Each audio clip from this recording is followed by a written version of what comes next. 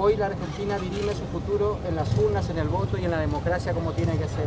Yo creo que esto es el mensaje más importante que hoy da el pueblo argentino al mundo, aún en el tiempo y en el momento en que vivimos, aún con las diferencias que tenemos, aún con las dificultades que tenemos hoy todos los argentinos, reconocidas por todos, que este, podamos dirimir el futuro de nuestro gobierno, el futuro de nuestra patria, el futuro de la Argentina en las urnas, es una madurez este, como, como pueblo argentino muy importante que queremos y cuidamos la democracia. ¿Cómo fue la campaña intensa por lo que se sabe? Intensa, muy intensa, muy tranquila, pero a su vez también con una enorme madurez en la política, una enorme madurez en el contenido de nuestra provincia sobre lo que queremos cada uno para nuestros representantes en el Congreso de la Nación. Doctor, eh, ¿se esperaba la cantidad de votantes a esa hora de la mañana?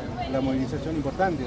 Y es importante, sí, es muy bueno, el argentino tiene ganas de, elegir su presidente, tiene ganas de elegir sus representantes y esto siempre lo ha demostrado Misiones, nunca ha tenido una, en estos últimos tiempos una, una asistencia menor del 75% de votantes, por lo tanto no debe extrañar que así sea. Sí, claro, a primeras horas de la mañana también es, eh, es muy importante y también tenemos en cuenta de que mucha gente hoy mira el pronóstico meteorológico y sabe que si llueve a la tarde capaz que este, sea más dificultoso para salir a votar. Así que en algunos lugares hay una afluencia muy importante y el resto de la provincia también. ¿Cómo la jornada? Eh, con, con, trabajo, eh, me voy a ir a recorrer a diferentes localidades de la provincia, seguramente vamos a andar por, por Oberá, por El Dorado, eh, viendo todo, monitoreando todo como corresponde.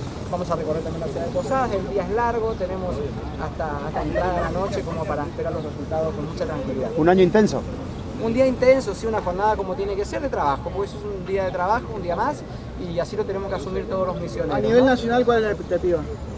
Bueno, muy buena, la, la, expectativa es lógica, la del argentino que ya se ha expresado en las pasos. Bueno, ahora tenemos que, que, que esperar de cómo sigue el, el, movimiento en los diferentes niveles a, a nivel nacional. Bueno, ayer he tenido oportunidad de, de, intercambiar mensajes con algunos de los candidatos y eso hace, hace muy bien también a la, a la, a la convivencia federal de la Argentina. ¿no? ¿Cábala venir con la hija?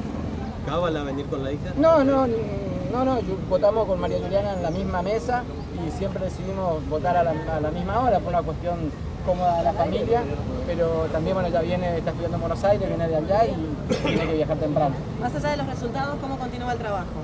Como debe ser, los misioneros ya se han expresado quién quiere que los gobierne.